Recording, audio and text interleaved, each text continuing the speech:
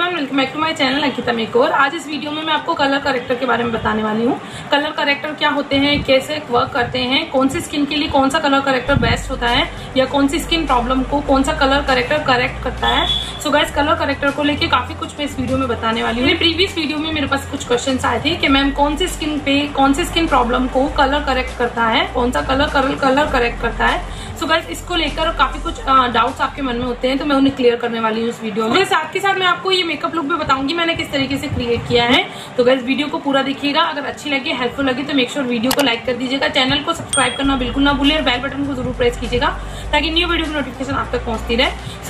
सो gas चलते हैं video की तरफ़। वीडियो में जाने से पहले मैं आपसे रिक्वेस्ट करूँगी, मुझे इंस्टाग्राम पे ज़रूर फॉलो कर लीजिएगा। यहाँ पे मेरा इंस्टाग्राम आईडी आपको मिल जाएगा। सो गैस चलते हैं वीडियो की तरफ़। So guys first of all colour correct colour corrector जो होते हैं, वो आपके स्किन पे जो भी अनइवन स्किन जो होती है, उसे करेक्ट करना। नाम से ही पता लगता है कलर करेक्ट ये आपकी स्किन को कलर करेक्ट करता है, आपके फेस का जो भी कलर होता है, उसे करेक्ट करता है।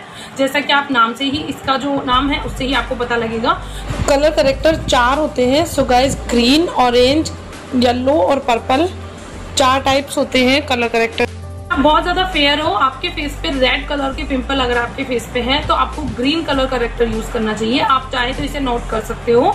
सो गाइज़ जब भी आपको, अगर आपको बहुत ज़्यादा फेयर स्किन टोन है तो आपको ग्रीन कलर करेक्टर यूज़ करना चाहिए। ग्रीन कलर आपके जो स्किन का कलर होगा, ये उसके अकॉर्डिंग आपको आपके फेस को कलर करेक्ट कर देगा। आपका स्किन इवन हो जाएगा। आपका फेस का जो जो पार्ट रेड है या रेड पिंपल आपके फेस पे आ गए हैं तो आपको ग्रीन कलर करेक्टर का यूज़ करना चाहिए। सेकेंड आपका है orange orange orange colour corrector आपको अगर डार्क सर्कल्स की प्रॉब्लम बहुत ज़्यादा है माउथ के अराउंड आपको पिगमेंटेशन की प्रॉब्लम है और अगर आपको ब्लैक कलर की धब्बे आपके फेस पे है, अगर आपको एक्ने के निशान है ब्लैक कलर के तो उन्हें हाइड करने के लिए ऑरेंज कलर का करेक्टर यूज़ किया जाता है। थर्ड आपका है येलो अगर आपको हल्के फुल्के फेस पे निशान है तो आप येलो कलर करेक्टर यूज़ कीजिए। अगर आपका कॉम्प्लेक्शन फेस का थोड़ा सा डार्क है डस्की स्किन टोन है, आप उसे एकदम इवन टोन बनाने के लिए, आपके बेस को थोड़ा सा फेयर टोन देने के लिए, आप पूरे फेस पे भी येलो कलर करेक्टर अप्लाई कीजिए। उसके बाद आप अपना फाउंडेशन अप्लाई कीजिए। आपका बेस बहुत अच्छा क्रिएट होगा। So guys yellow colour corrector भी आपका क्लियर हो गया। फोर्थ आपका आता है पर्पल कलर करेक्टर पर्पल जो होता है वो अगर आपको आईज के नीचे यहाँ पे पर्पल हल्के हल्के पर्पल कलर के पिंपल्स अगर आपको आ गए हैं तो पर्पल कलर करेक्टर आपका ये यूज़ होता है। आ, उसे हाइड करने के लिए पर्पल कलर करेक्टर का यूज़ किया जाता है। सो गाइस आई थिंक आपके क्लियर हो गए होंगे चारों कलर करेक्टर किस लिए यूज़ किए जाते हैं और कौन सी स्किन प्रॉब्लम पे कौन सा कलर करेक्टर यूज़ किया जाता है। सो गाइस कलर करेक्टर जो होते हैं वो आपके बेस को बहुत अच्छा क्रिएट करके देते हैं। अगर आप कलर करेक्टर नहीं करोगे तो आपका जो फेस मेकअप है, आपका थोड़ी देर में ही ब्लैक पड़ जाएगा, थोड़ी देर में ही आपका काला पड़ जाएगा और आपका मेकअप लॉन्ग लास्टिंग नहीं रहेगा। सो so गर्ल्स अगर आप जब भी मेकअप करते हो, एक बार कलर करेक्ट करके देखिए, उसके बाद आप अपना मेकअप देखिए, बहुत अच्छा मेकअप होगा। ये सो so गर्ल्स एक बार आप ये मेकअप देख लुक देख लीजिए, मैंने किस तरीके से क्रिएट किया है। क्लींजिंग करने के बाद टोनर के लिए मैं ले रही हूँ डाबर का रोज वाटर मैं अपने पूरे फेस पे से स्प्रे कर लूँगी और इसे ड्राई होने दूँगी। उसके बाद मैं अप्लाई कर रही हूँ मॉइस्चराइजर मॉइस्चराइजर के लिए मैंने ली है जॉय की स्किन फ्रूट क्रीम मैं अपने पूरे फेस पे से अच्छे से अप्लाई कर लूँगी। उसके बाद मैं प्राइमर अप्लाई कर रही हूँ। प्राइमर के लिए मैं ले रही हूँ एच डी रोडा प्राइमर बहुत अच्छा प्राइमर है गाइस ये सिलिकॉन बेस्ड प्राइमर है। अगर आपकी स्किन ऑयली है तो आपको सिलिकॉन बेस्ड प्राइमर यूज़ करना चाहिए। सो गाइस मैं पूरे फेस पे से अप्लाई करके पाँच मिनट के लिए वर्क करने के लिए छोड़ दूँगी। मैंने ऑफ़ कैमरा अपनी आईब्रोज फिल कर ली थी। मैंने आईब्रो किस तरीके से फिल की जाती है? मेबिलिन के जेल लाइनर पे। इस पर शॉर्ट्स वीडियो में मैंने मेरा वीडियो मेरे चैनल पे आपको मिल जाएगा। सो गाइस डिटेल वीडियो मैंने इस पर डाला है। सो गाइज़ उसके बाद मैं ऑरेंज कलर करेक्टर ले रही हूँ। जैसा कि मैंने बताया आपको, अगर आपकी स्किन आपको डार्क सर्कल्स की बहुत ज़्यादा प्रॉब्लम है माउथ के अराउंड अगर आपको हाइपर पिगमेंटेशन की प्रॉब्लम है डार्क थोड़ा एरिया आपको माउथ के अराउंड है तो गाइज़ आप ऑरेंज कलर करेक्टर अप्लाई कीजिए। जैसा कि आप देख सकते हो, मैंने अप्लाई किया है। मेरा फेस आपको ऑरेंजिस लग रहा होगा बट ऐसा कुछ नहीं है। फाउंडेशन लगाने के बाद ये इक्वल हो जाएगा। सो so गाइज़ एक ब्लेंडिंग ब्रश की हेल्प से मैं इसे अच्छे से डैबिंग मोशन में ब्लेंड कर लूँगी। रगड़ना नहीं है, आपको फेस पे बस राउंड राउंड घुमाना भी नहीं है, बस डैप टैप करना आपको स्किन के अंदर। उसके बाद मैंने मेरा ड्रेस चेंज कर लिया था। सो गैस उसके बाद मैं फाउंडेशन अप्लाई कर रही हूँ। फाउंडेशन के लिए मैं ले रही हूँ Maybelline gel sorry guys Maybelline fit me poreless foundation oily skin वालों के लिए बेस्ट एंड बेस्ट फाउंडेशन है गाइज़ ये। और मेरा जो शेड है, वो है three ten pure beach guys आपकी, अगर इस ब्यूटी स्किन है तो ये अच्छे अच्छे से जाएगा आपकी स्किन पे। और मैं एक ब्रश की हेल्प से मैं इसे अच्छे से अप्लाई कर लूँगी। पहले पूरे फेस पे स्प्रेड कर लूँगी और उसके बाद वेट ब्यूटी ब्लेंडर की हेल्प से।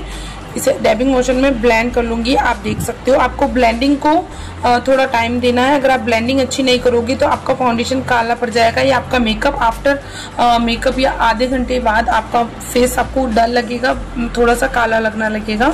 सो गैस उसके बाद हाईलाइटिंग कंसीलिंग कर रही हूँ। हाईलाइटिंग कंसीलिंग के लिए मैं ले रही हूँ इनसाइड का H D pro concealer guys insight के जो भी मेकअप प्रोडक्ट्स आते हैं, सभी अफोर्डेबल होते हैं बजट फ्रेंडली होते हैं। सो गैस मैं ज़्यादातर इनसाइड ही पसंद करती हूँ, क्योंकि मुझे बहुत अच्छा लगता है। इनका वर्क भी बहुत अच्छा होता है। सो so गैस मैं अपनी अंडर आई एरिया पे और आई बेस के लिए भी मैं इसे ही क्रिएट करूँगी। माउथ के अराउंड हाईलाइटिंग कंसीलिंग जहाँ जहाँ पार्ट पे की जाती है, मैं वहाँ से अप्लाई कर लूँगी। और उसके बाद वेट ब्यूटी ब्लेंडर की हेल्प से अच्छे से ब्लेंड कर लूँगी, आप देख सकते हो। उसके बाद मैं अपने मेकअप को लॉन्ग लास्टिंग बनाने के लिए मिस रोज लूज पाउडर ले रही हूँ लॉक करने के लिए। एक पाउडर ब्रश की हेल्प से मैं इसे पहले अंडर आई एरिया पे अप्लाई करूँगी उसके बाद मैं पूरे फेस पे से अप्लाई कर लूँगी और आपको नेक को ईयर को बिल्कुल नहीं छोड़ना है। सो so, इतना कुछ आपके फेस पे अप्लाई होता है तो आपका फेस थोड़ा सा हैवी लुक देता है तो आपको कॉन्टोर करना बहुत ज़रूरी है। सो गैस कॉन्टोरिंग के लिए मैं ले रही हूँ tin contour and blusher palette इस टाइम मेरा फेवरेट पैलेट है गाइज़ सो गाइज़ अपने हॉल ऑफ़ द चिक्स पे मैं इसे अप्लाई कर लूँगी और साथ के साथ ब्लेंड भी कर रही हूँ एंगुलर ब्रश मैं अपनी नोज़ को भी कॉन्ट्रोल कर रही हूँ आप देख सकते हो और अपनी चिन को भी कॉन्ट्रोल करूँगी। सो गाइज़ आपको चिन का जो कॉन्टोर किया जाता है, वो नीचे की तरफ़ ब्लेंडिंग की जाती है। सो गाइज़ उसके बाद मैं ब्लश अप्लाई कर रही हूँ एप्पल ऑफ़ द चिक्स पे। मार्च की ब्लश पैलेट पे से मैं एक पीच कलर पिक कर रही हूँ। अब मैं स्विस ब्यूटी हाईलाइटर पिक कर रही हूँ। हाईलाइटर को अपनी ब्रिज रोज बो चिन पे चिक पे मैं फ़ैन ब्रश की हेल्प से अप्लाई कर लूँगी। गाइज़ आई मेकअप के लिए मैंने एक सेपरेट वीडियो बनाया है आई मेकअप को। आई मेकअप का आपको मेरे चैनल पर मिल जाएगा। तो जो नेक्स्ट वीडियो होगा, वो आई मेकअप पे ही होगा, इसी आई मेकअप पे। सो गाइज़ आप देख, ज़रूर देख लीजिएगा। सो गाइज़ अब मैं लिपस्टिक अप्लाई कर रही हूँ मैट लुक की। 37 डीप मारून इसका शेड है। बहुत अच्छा शेड है गाइज़ अब अपने मेकअप को सेट करने के लिए मैंने मेकअप फिक्सर यूज़ किया था स्वेस ब्यूटी सो गाइज़ मैं वो क्लिप डिलीट हो गई मुझसे।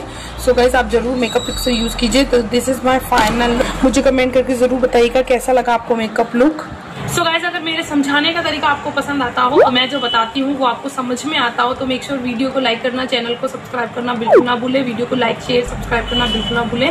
मिलते हैं नेक्स्ट वीडियो में। Bye bye